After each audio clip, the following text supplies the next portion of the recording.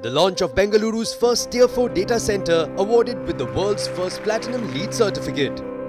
Control S launches Bengaluru's first Tier 4 data center powered by etcio.com.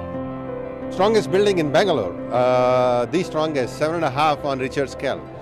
And uh, it has a solar plant. It's only tier 4 and uh, it's the most energy efficient data center in India and it is coming from Control S which is LEED Platinum.